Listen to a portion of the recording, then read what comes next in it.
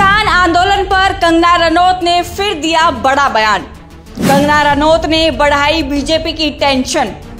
भाजपा नेता चुप, कांग्रेस हमलावर।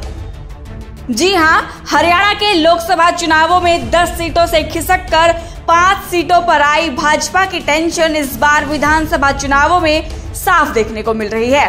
हालाँकि भाजपा नेता इस बात को नकारते हुए भी दिखाई दे रहे हैं।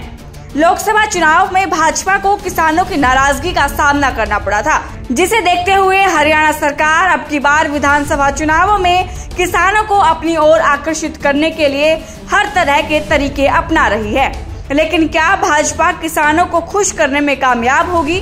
ये सवाल इसीलिए क्योंकि हाल ही में एक इंटरव्यू में भाजपा सांसद कंगना रनौत ने एक ऐसा बयान दिया जिससे भाजपा की मुश्किलें बढ़ सकती हैं। जी हाँ कंगना रनौत ने कहा कि अगर हमारा शीर्ष नेतृत्व मज़बूत नहीं रहता तो किसान आंदोलन के दौरान पंजाब को भी बांग्लादेश बना दिया जाता। पंजाब में किसान आंदोलन के नाम पर उपद्रवी हिंसा फैला रहे थे। वहाँ रेप और हत्याएँ हो रही थी। किसान बिल को वापस ले लिया गया, वरना इन उपद्रवियों की बहुत लंबी प्लानिंग थी। वे देश में कुछ भी कर सकते थे। कंगना के इस बयान के बाद राजनीतिक गलियारों का तापमान बढ़ गया है। हरियाणा बीजेपी के नेताओं ने विधानसभा चुनावों को देखते हुए चुप्पी साध ली है, लेकिन कांग्रेस नेता भाजपा पर हमलावर हैं। सबसे पहले आप रानिया से विधानसभा चुनाव में ताल ठोक रहे सर्व मित्र को सुनिए, जिन्होंने कंगना से कई सवाल पूछे हैं बीजेपी को इस बारे में सोचना चाहिए और इस लेडी पर कार्रवाई करनी चाहिए, क्योंकि अगर ये ऐसा ही बोलती रहेगी तो यही लगेगा कि ये बीजेपी की एक प्लानिंग है और अगर ये बोल रही है कि चाइना का हाथ, अमेरिका का हाथ तो सरकार आपकी है। आप पता लगाएँ, क्या हाथ है उनका? या ये जो कह रही है कि किसानों की उस वक्त एक बड़ी प्लानिंग थी? क्या प्लानिंग थी, मैडम? आपके पास इंटेलिजेंस है, सरकार आपकी है तो आपको पता होना चाहिए कि क्या प्लानिंग थी। और अगर कोई प्लानिंग थी तो आप सामने लेकर आओ। क्यों नहीं लेकर आते? तो ये लगातार गलत बयानबाजी और किसानों के प्रति ऐसा बोलना ये दर्शाता है कि कहीं ना कहीं इनको कोई ना कोई दिशा निर्देश है। इस पर लगाम लगनी चाहिए और इस पर कार्रवाई होनी चाहिए। बकायदा पर्चा दर्ज होना चाहिए कंगना रनौत पर, कार्रवाई होनी चाहिए।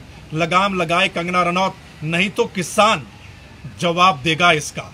क्या बीजेपी इस नेता के बयान को सपोर्ट करती है? मैंने सुना है कि बीजेपी ने इस बयान से किनारा कर लिया है। किनारा करने से बात नहीं बनेगी। इस बयान से देश में माहौल खराब हो सकता है, अराजकता पैदा हो सकती है। एक बार फिर देश का किसान उसका गुस्सा सामने आ सकता है। इसलिए लगाम लगनी चाहिए, कार्रवाई होनी चाहिए। वहीं कांग्रेस ने सोशल मीडिया एक्स हैंडल पर लिखा कि 750 किसानों की शहादत को अपमानित करते हुए भाजपा सांसद हरियाणा के किसानों को देशद्रोही बता रही है। मैडम, सत्ता का नशा हो या किसी और तरह का, ज़्यादा नहीं टिकता। हरियाणा से भाजपा का सुपड़ा साफ़ होने वाला है।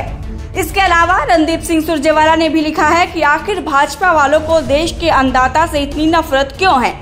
भाजपा ने तो हमेशा हमारे अन्नदाताओं पर झूठ, फरेब, साजिश और अत्याचार किए हैं। और एक बार फिर हमारे अन्नदाताओं पर बीजेपी की सांसद ने अनगढ़ आरोप लगाया है। सवाल ये है कि क्या कंगना ने बीजेपी की चुनावी रणनीति के हिसाब से किसान पर ये घटिया आरोप लगाया है? क्या कंगना के सिर्फ़ शब्द हैं या फिर कॉपी किसी और ने लिखी है अगर नहीं तो फिर देश के प्रधानमंत्री, हरियाणा के मुख्यमंत्री और तमाम बीजेपी सांसद विधायक इस मसले पर खामोश क्यों हैं? कंगना के इस बयान के बाद किसानों में फिर से भाजपा के खिलाफ गुस्सा फूट पड़ा है यह भी बता दें कि कंगना का विवादों से पुराना संबंध है इससे पहले भी वो आंदोलनकारी किसानों की तुलना खालिस्तानी आतंकियों से कर चुकी हैं। इसके अलावा किसान आंदोलन के वक्त कंगना ने सोशल मीडिया पर एक पोस्ट की थी, जिसमें लिखा था कि किसानों के प्रदर्शन में शामिल हुई ये महिला वही मशहूर बिल्किस दादी है, जो शाहीन बाग के प्रदर्शन में थी, जो सौ रुपए लेकर उपलब्ध हैं। इस बयान पर करीब तीन महीने पहले चंडीगढ़ एयरपोर्ट पर सीआईएसएफ की महिला कांस्टेबल कुलविंदर कौर ने कंगना को थप्पड़ जड़ा था महिला की वीडियो भी सामने आई थी, जिसमें वो कह रही थी कि कंगना ने जब किसान आंदोलन में शामिल महिला को सौ सौ रुपए में धरना देने वाली कहा था तो उस वक्त उसकी माँ भी धरने पर बैठी थी। ऐसे में एक बार फिर से कंगना के खिलाफ किसानों की नाराज़गी देखने को मिल रही है। हालाँकि अब देखना होगा कि किसान इस पर क्या कदम उठाते हैं और क्या हरियाणा भाजपा के नेता इस बयान पर प्रतिक्रिया देते हैं। आपका कंगना के इस बयान पर क्या कहना है, कमेंट करके ज़रूर बताएँ। द मसला को सब्सक्राइब, फॉलो और लाइक करना ना भूलें।